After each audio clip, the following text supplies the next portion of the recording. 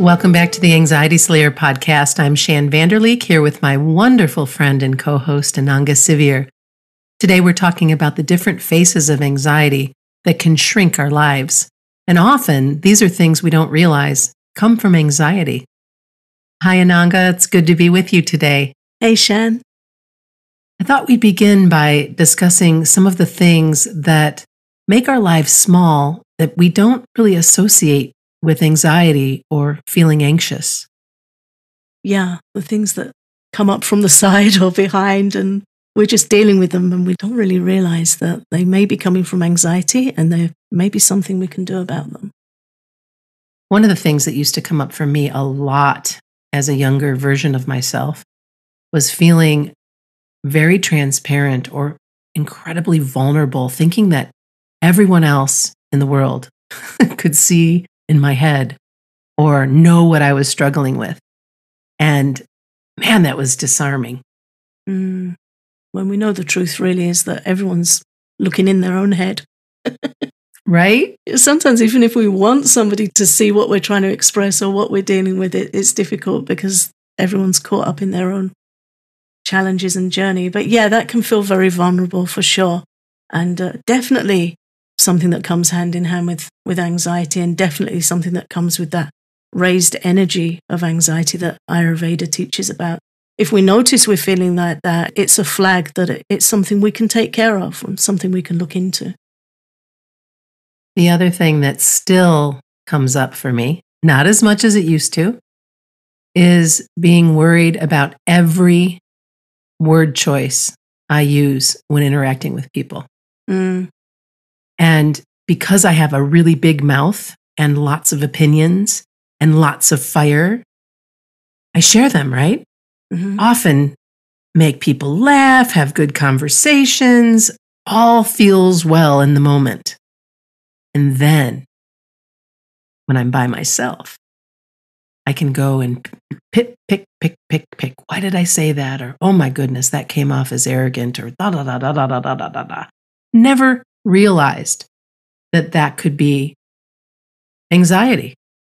Yeah. And it's not Vata anxiety, again, talking about Ayurveda and the different mind types and how we're prone to anxiety. So, Vata is airy anxiety. So, that would be my younger experience that goes with this of the need to over explain. Vata will push us to speak and explain, and I meant this and I feel like that, or try and give a good account of ourselves so that we're not got that judgment coming in. But when we're picking over and analyzing, that's pitta anxiety. And it's typical pitta to do that. Pitta out of balance judges. If it's really out of balance, it will judge others quite unpleasantly. And it will also judge us. We will judge ourselves and we will pick ourselves apart. Why did I do this? Why did I say that? It's still anxiety, it's for sure. But it's interesting to me to look at the different energies of anxiety and, and where they can come from. Oh, yeah. And when you bring up judgment, the other piece about perfection and being a perfectionist, I'm a recovering perfectionist. I tried for years and years and years to be perfect, to avoid judgment. And the interesting thing about that is, I may not have been judged as much from outside, but again, the, the inner judgment was still there, even if I was air quotes perfect. Right at work or in my relationships or or what have you. So again, all of these things and I'm so grateful for this this meme that we found that had a number of these points that that came up that said things I didn't know were anxiety. And it just cracked me up because these were some of the things that I didn't know were anxiety when we met many moons ago and started doing our podcast. We often don't. And it can make quite a fragmented experience of ourselves because we feel like, well, I struggle with this and I struggle with that. But when you look at them as aspects of the central issue of anxiety, it can be um, a little easier to work with. It can be easier to find some compassion. But also, anything we do that calms general anxiety also informs these areas as well. Like somebody that's of a more uh, a vata disposition, a more airy disposition towards anxiety, you know when that's coming up if you learn to look at yourself. If you're experiencing disassociation, you feel disconnected from people around you, vata's coming up. If you feel the need to speak and explain yourself and you struggle to hear others because your mind's just racing to try and gain ground, that's vata coming up. So we know then there's things we can do to balance it. Okay, what do I do? This energy's coming up. And when the energies are out of balance, they provoke us. It urges us to speak. It urges us to do this. It jazzes our nervous system when we feel more anxious, or there'll be a push to to feel more irritable, more self-critical, more intolerant of others. Then we know, oh, that's pitta coming up. What do I need to do to bring that in check? It's not a good experience for us, and it's not a good experience for those around us when these things are provoked. So it's good to know how they work. It's not difficult to learn a few clues of how they work, and it's very easy to apply some gentle opposites for balance. So it's definitely a worthwhile conversation. Well, that brings us nicely to what helps and what can we do when these feelings are coming up for us that we're just realizing maybe right now are associated with anxiety, that are associated with our primary dosha. Yeah, and it's finding a bit of space to reflect on it, first of all, is to get off the hamster wheel and get off autopilot and have some space to to look at that and see where we can find some some ways to improve. Um, getting more grounded, working on building our personal peace and self trust is a really important thing to work on with anxiety. Trust in yourself. A balanced pitta will come away with a little humor from an event and they can say, okay, well, I did the best I can and I'm a human. Pitta's very funny when it's balanced and fluid, and Vata, when it's grounded, can be more give and take conversationally and more present. We need to be present. There's a remedy to the disassociation that Vata can experience in presence. So we need to see how can we invoke that? How can we bring that groundedness? It can be as simple as a walk, a walk in nature, a warm bath, some downtime, some still time. And then to give careful consideration when we're projecting our fears and our worries about ourselves onto others, to give careful consideration to the thoughts and responses of others. Mm-hmm. Kind people, balanced people don't judge and they don't consider others stupid. So just to trust, to trust that and make room so that we can relax with the people we can trust. And if there are those in our lives that are overly judgmental or critical, or we come away feeling out of balance or uncomfortable, then we've got the choice to look at distancing or boundaries, that we don't have to spend time in environments or with people that increase our anxiety. And it's also a good idea to consider realistic expectations, both from others and from ourselves. Supporting ourselves and knowing that we're giving our best, and when it's time to rest, and just being aware of what it is we need. And again, back to choice. I think our, our theme this whole year has been about the choices that we can make when we're struggling, the choices that we can make when we are at our best, and to know that you are absolutely perfect just the way you are, and having a better understanding of how you work and what brings you peace and learning to trust yourself that's it's a big ask i realize that that trust piece can be big for so many i know it was big for me for a long time yeah it's important work and it's ongoing work but then there are places where we can get help and we can speak to professionals like the people at BetterHelp if we need to speak to somebody and go through something in detail with some support. That facility is available to us. I think it's very valuable to do that and to be able to grant ourselves the space to look at where we're out of balance and where we need help. And we're all out of balance at different phases and stages of our life to different degrees. Um, that's one of the key teachings of Ayurveda is that we have to always be changing our sails according to what's going on around us, whether it's climate, environment, relationship, nutrition. We're adjusting all the time.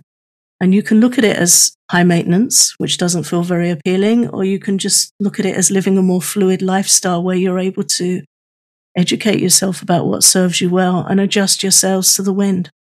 That feels better to me to look at it that way. Mm-hmm. But it, it is constant adjustment, but it makes for a much better quality of life and a life that has room for the things that really matter to our heart, which anxiety can eclipse that heart space and those aspirations. So it's good work. It's also good to see where we can reclaim our space by setting healthy boundaries, which not everybody knows how to do. And how we respond to the expectations of others tells them how much they can push us, how much they can ask of us, how much they can get from us. And so being in a space of what works for me, getting to know yourself, what am I available for? What works for me? And so, for example, I have a very good friend. I love her, love her, love her. She was going through a very difficult time, and I was available to, to listen and to support her. And I'm always available to listen to support her in the, in the big picture. But this was getting to be a bit much for me to hold. And it was just a period of time. So it wasn't, it, it was a particular day where I wasn't available for it because I needed to care for myself. And as much as I don't like admitting that, and I think we all probably feel that way with somebody we love and care for, I had to let her know that I'm thinking of her, that I love her, and that I will be in touch with her tomorrow. Because I couldn't do it in that particular day. I couldn't be available 100% of the time while she was falling apart. Does that make sense?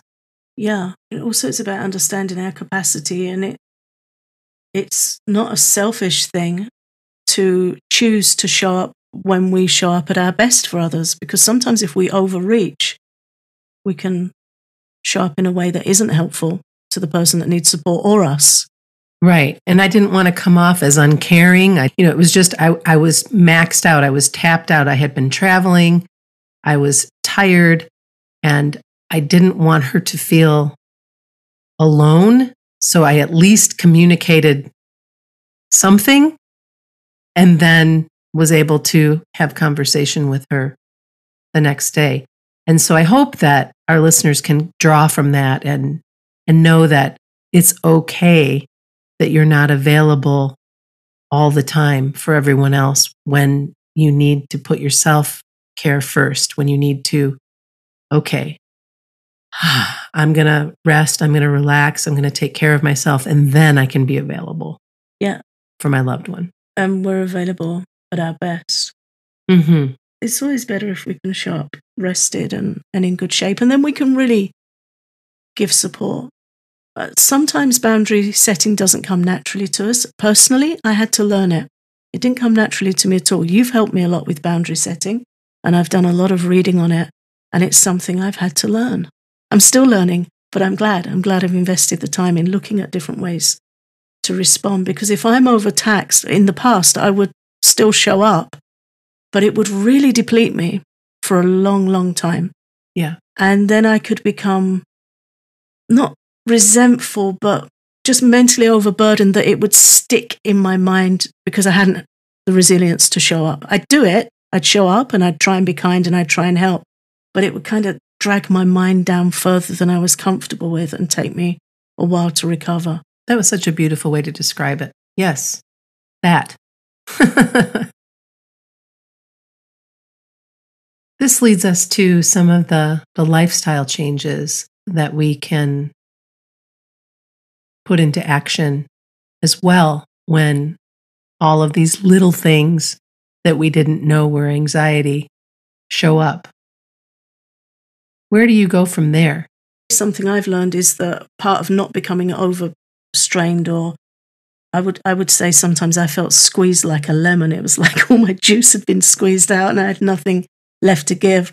So for me personally, something that really helped was getting up early and having my time first thing in the day. Because we're talking this month about, you know, anxiety not shrinking your life. So I find if I can get ahead of the day and I'm up early and I've read something inspiring, practice some meditation, whatever comes later in the day, I can cope better with. It's like I get a non-stick coating. And I can't tell you how many times I've written in my journal, thank God I got up early and meditated this morning because this came later in the day and I know I coped better because I was buffered. My nerves were buffered, my mind was nourished, and I was grounded, and I'd started my day how I needed. So I think it's very important to look at what gives us stability, what, mm-hmm. what gives mm-hmm. us groundedness, and what, what helps us build resilience. And it might be going for a walk on your own for 10 minutes. It might be doing some painting in the evening, listening to an audiobook. Find what it is for you that gives you some self quality time, some good time with yourself. So you're in yourself. And then whatever comes, you've just got that protection to deal with it. So that's my personal example. I love that example. And I have reclaimed my morning time as well. And whether I journal or whether I get my all of my supplements and lemon water and all of my stuff lined up because I have a little protocol that I do each day for my sweet body. Mm-hmm. And then I've also added moving. So this morning before we started to record, I walked a couple of miles on the treadmill and listened to a wonderful podcast. Right. Nice. And that was a gift to me. That was something like, oh, not only am I taking care of my body by walking, I get to listen to this very rich conversation that Tim Ferriss was having with Susan Cain. And for our listeners, I highly recommend that you check out Tim's podcast. He's pretty amazing, like right up there in the top podcasts of, of the world, speaking with an author that Ananga and I absolutely love. Susan Cain is the author of Quiet, The Power of Introverts in a World That Can't Stop Talking. And Ananga and I talked about that book uh, many years ago. Anyway, she's got a new book out and they're having this great conversation and it's just really powerful. But anyway, that was a gift that I gave myself. That's one of the things that I've decided to do is is reclaim that time in the morning. Mm. And then get up, get my work done, and then go from there. And we need to give ourselves those gifts. Gifts are, are acts of self love, they're acts of self respect and self healing. Really, really important. And it hasn't got to be a big deal and it hasn't got to be hours. And Ayurveda teaches that we need stillness as an antidote to anxiety. The energy of anxiety um, in that drives anxiety in Ayurveda It's called chanchala. I love that word, but it means like restless, restless and moving. So Ayurveda teaches that we apply the law of gentle opposites to find peace and to come back into balance. So we know that if our skin's dry, we need to apply oil, we need to moisturize. If, if things are rough and chapped and dry, we know the opposite to do for our body, but we also need to know for anxiety how to do that for our mind. So stillness is the opposite of, of chanchala. It's the opposite of restlessness. The challenge with anxiety is that it's very hard to be still when you're anxious. For one reason is that we're pushed by the energy in the body. And the other reason is that we tend to be avoidant of things that are uncomfortable, and anxiety is very uncomfortable. And often when we sit still, it's right there downloading into our mind, and that can be a very uncomfortable experience. So it's helpful to find supported stillness, find peaceful immersion in something where we can be still and quiet, but our mind isn't going to turn in on us. So that could be a guided meditation where you're resting, but somebody else is shepherding you through. Uh, so for some people, it could be knitting or crochet. That's just a mindful, peaceful, one stitch at a time activity, baking, something creative. But we need to find what is it for me that brings me peace and stillness where my anxiety isn't going to come crashing in. Mm. And this time in the Northern Hemisphere, almost in Northern Michigan, I'll be in my garden soon. but uh, the weather just wants to keep teasing us and say, "Oh, how about a little bit more snow today?" That's the best. I mean, you talk about getting grounded. but getting my hands in the dirt, Yeah. yeah, and and starting out the day because that's I will shift to more time outside and more Mhm. time grounding, like literally grounding, bare feet on the ground. yeah, yeah, literally.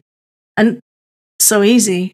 Mm-hmm. You know, when we get up in the morning and now it's starting to get a little light, lighter earlier in the mornings to just get outside, breathe the morning air, see who's singing in the bushes, see who's popping their heads up through the through the snow or the dirt and yeah just be in tune with the ground which it's very easy for us to lose that grounded connection when we're working indoors and we're working on computers and all these things that are very vata disturbing they bring up that anxious energy so yeah simple antidote Mm. After the break, we'll be talking about how to seek help for supporting the challenges that come up for us. The Anxiety Slayer podcast is sponsored by BetterHelp Online Therapy. People don't always realize that physical symptoms like headaches, teeth grinding, and even digestive issues can be indicators of stress. When I'm stressed, I get tension headaches and can be really hard on myself and others. Thankfully, I know how to alleviate stress on my own, but sometimes I need extra support. When my daughter went off to college at the beginning of the pandemic, I was super stressed and I worked with a BetterHelp therapist and received wonderful support from a trained professional who was perfectly suited to help me navigate through my situation. BetterHelp is customized online therapy that offers video, phone, and even live chat sessions with your therapist so you don't have to see anyone on camera if you don't want to. And is much more affordable than in person therapy. Give it a try and see if online therapy can help lower your stress. This podcast is sponsored by BetterHelp, and Anxiety Slayer listeners get 10% off their first month at betterhelp.com forward slash slayer. That's B E T T E R H E L P dot com forward slash slayer. One of the things that you and I have talked about over the years is the importance of not being defined by the anxiety that we suffer. Let's- dig a little bit deeper into that. so easy for the mind to default to fixating on the things we talked about earlier feeling vulnerable feeling everyone can see what we're struggling with feeling judged feeling we need to explain ourselves the mind can really loop over those things and, and really fixate on them. Um, even just one small event, we can spend a week or two going over it, or it will be the persistent playlist in our head to bring those things up. And one thing that really helps is to not be defined by anxious thoughts, to understand that they're a part of us and they're a part of what we're dealing with, but they're not all of us. It's so easy to be defined by our struggles. But when we focus on our strengths or our talents or our aspirations, developing our natural abilities, we can push back against anxiety and regain some space. And the more we do that, the more space we regain. So then the anxious thoughts occupy a smaller part of our mind. So we're trying to reclaim territory in Mhm. our head. It's, it's understood that with chronic pain, it can leach out into a much broader area of the brain and really take over the, the way the brain operates. Pain can be like an oil slick where it really spreads. But there are practices that can help you contain it and regain that space. And it's the same, same with anxiety. So when we focus on our strengths, what we love, things we want to do, and give those um, active attention and, and action, act on them, then we start to re- reclaim some space. And it also is an invitation to get to know yourself better. Because often when we're feeling anxious or we're struggling or we're in pain or whatever is, is making us feel small, it's as if these other things don't exist at all, but they do. And so if you can take a moment I invite you right now to grab a, a pen and paper and write down a few of these questions. And if you need to pause to do that, go ahead and, and pause.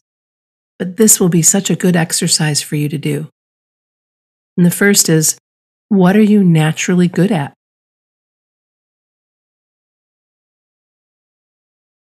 What comes so easily for you?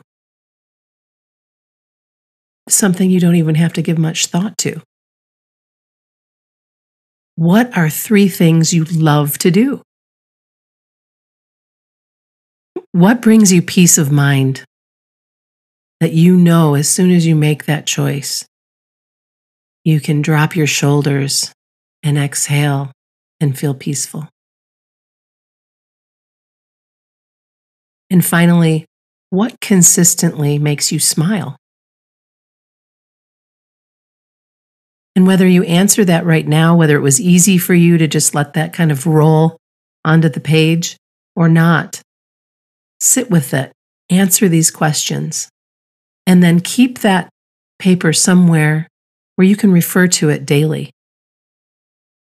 I have stickies all over the place that reminds that remind me of the things that I love or little phrases or whatever. Me too. And it helps.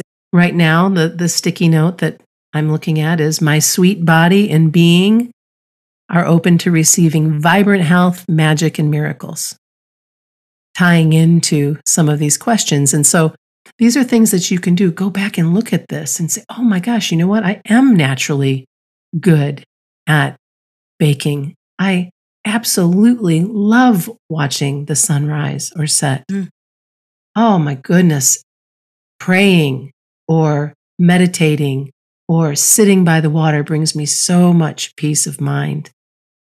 And my husband leaving for work each day, stopping in front of the kitchen window and waving and smiling at me for one last goodbye constantly makes me smile, consistently makes me smile.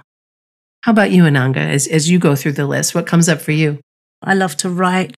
I love to study. Writing's really good for my mind being with my family and friends, laughing with my family and friends. What brings me peace of mind is reading the Bhagavad Gita, reading scripture, texts from the Vedas, reading from the Vedas, lessons in life, learning about my mind, learning how to manage it, learning its strengths and pitfalls and how to look after it. And helping others with that brings me peace of mind. It's very affirming to me if I'm able to help somebody else as I go through my day. Uh, things that make me smile laughing with my daughter and her partner. We have really good laughs together. Even daft things like we have a little parrot that we live with who thinks he's big, but he's tiny.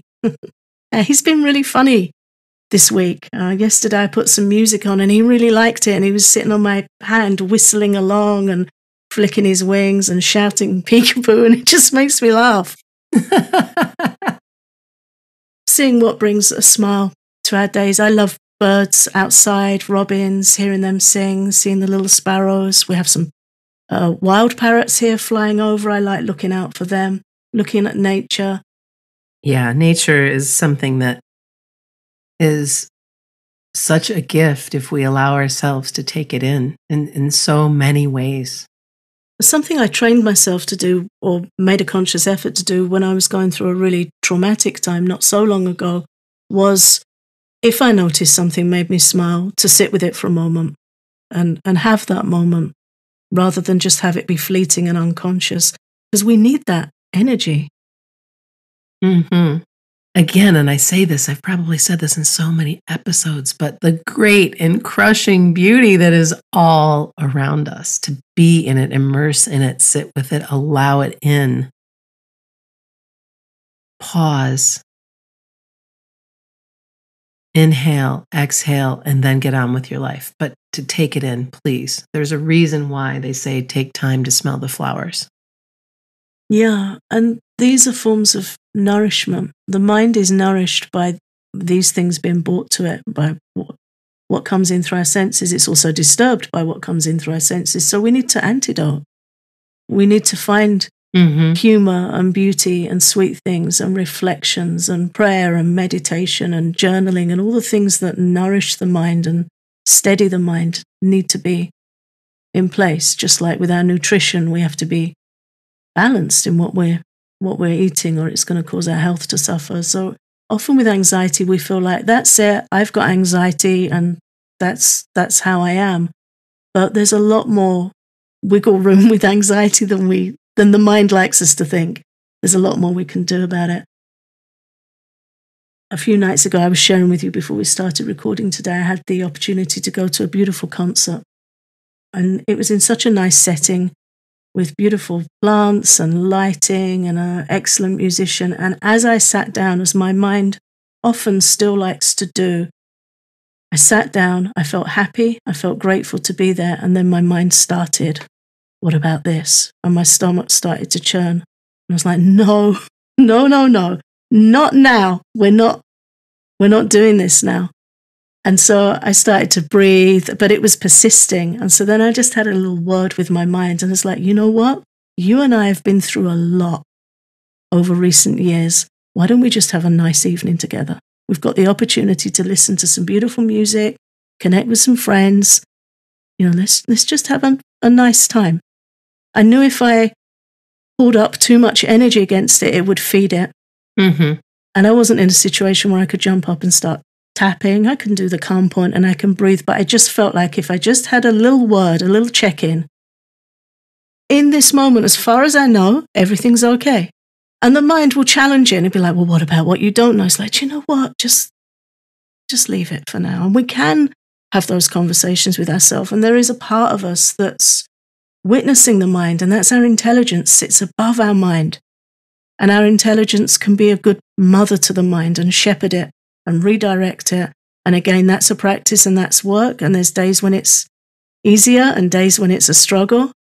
But still, we have the opportunity to make that choice and to, to see what works, to experiment a bit. It won't always be the same thing that works. But Ayurveda teaches that how we respond to our anxiety in this moment trains us and sets a course of action for our future responses. So if we flick on the TV or something, or we start scrolling, we're more likely to go there in the, in the future. But if we stop and take a breath, or practice some tapping, or some journaling, or clearing, or have a little word with ourselves and see what we need and how we might settle, we're training ourselves to be more likely to do that in the future. And the more we do it, the better we get at it. And then it becomes a, a readily available skill set checking in. How do I feel? What do I need?